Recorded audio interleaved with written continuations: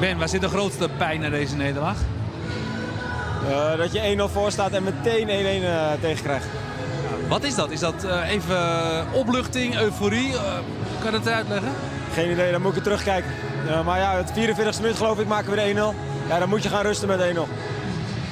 Als je puur kijkt naar deze 90 minuten, dat is misschien lastig nu, gezien de emotie, gezien alles wat er gebeurd is. Wel logisch dat jullie deze wedstrijd verliezen?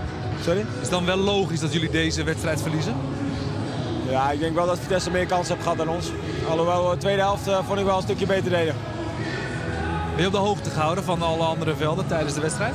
Nee, tijdens de wedstrijd niet, maar nu wel. En wat is dan je eerste gevoel? Ja, je hebt het nog in eigen hand. Je moet winnen, dan ben je er. Ja, makkelijker gezegd dan gedaan. Nee, zeker. Maar goed, ja, we wisten dat het sowieso niet makkelijk zou worden de laatste maanden. Maar je hebt het nog in eigen hand. En uh, ja, de jongens de, de, de, voorin, de topscorers komen weer terug. Dus ja, dat moet uh, hoop geven. Wordt het een mentale strijd zondag in Nijmegen? Of van uh, spanning, spanning, spanning en laten we het alsjeblieft maar goed doen? Is het kwaliteit, dan gaat de doorslag geven? Ja, ik denk dat wij genoeg kwaliteit hebben om van hun te winnen. ja, ze hebben een goede ploeg, maar we zijn zeker niet minder.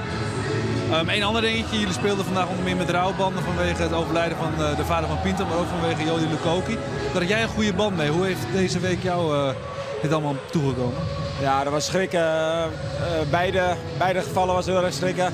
Nou, Jody natuurlijk 29 jaar, ja. Ik herken hem als, of ja, ik ken hem als een leuke, grappige jongen. Ja, met hem gespeeld, bij Nederlands teams met hem gespeeld, ja. Heftig lastig om dat dan weer te verenigen met zoiets, een degradatiestrijd. Relativeert het ook dan wel weer?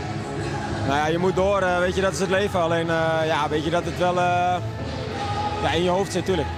Succes zondag.